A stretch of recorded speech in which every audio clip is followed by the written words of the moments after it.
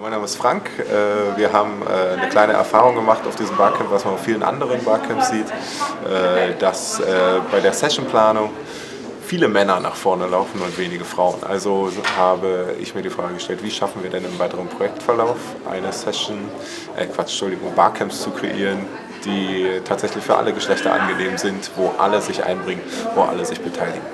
Ähm, die Session haben wir auch gemacht, da waren dann interessanterweise ausschließlich Frauen dabei, außer mir. Äh, und wir sind schnell von dem Punkt weggekommen, dass sich eben Frauen nicht trauen würden, was ja so ein extrem klischeebeladenes Bild ist.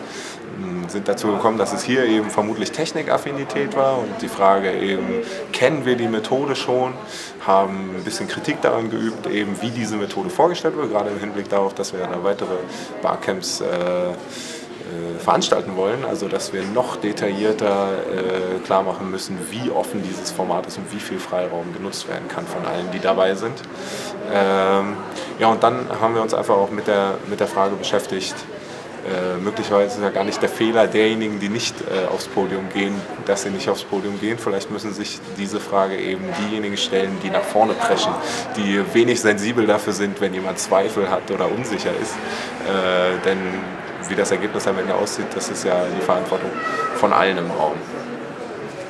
Äh, um letztlich ein, ein vernünftiges Barcamp zu kreieren, äh, sind wir zu keiner Patentlösung gekommen. Wir glauben allerdings, es ist natürlich wichtig, so niedrigschwellig wie nur irgend möglich dieses Format vorzustellen, klarzumachen, dass alle, also wirklich alle, äh, eingeladen sind, äh, daran teilzunehmen.